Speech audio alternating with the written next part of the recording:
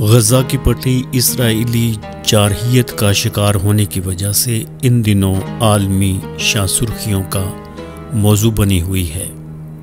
ताहम बहुत कम लोगों को ये बात मालूम है कि पैगंबर इस्लाम सैदना रसूलुल्लाह सल्लल्लाहु अलैहि वसल्लम के परदादा जनाब सैदना हाशम बिन अब्द मनाफ ने इस इलाके का सफ़र अख्तियार किया।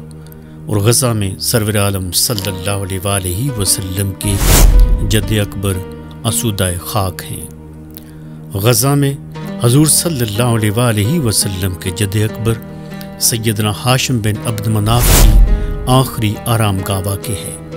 अरबों के लिए गज़ा हज़रत अमर बिन अलास रदी ने जनाब सैद नज़दीक अकबर रदी अल्लाह तहों के दौर में फ़तह किया था।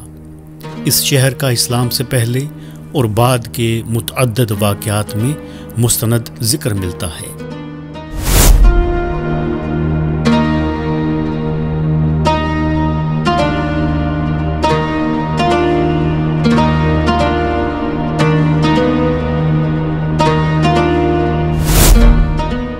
अरब तजारत के सिलसिले में यहाँ आया करते थे, क्योंकि ये इलाका अहम तजारती रूट था।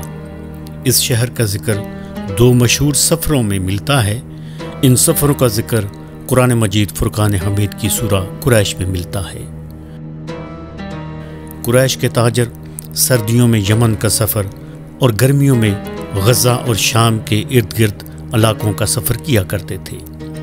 गर्मियों में गज़ा के एक सफ़र के दौरान जनाब रसालत माप सल्लल्लाहु अलैहि वसल्लम के जद अकबर सैदना हाशम बिन अब्द मनाफ गज़ा में वफात पा गए और इसी तारीखी शहर में आपकी कब्र अथर मौजूद है।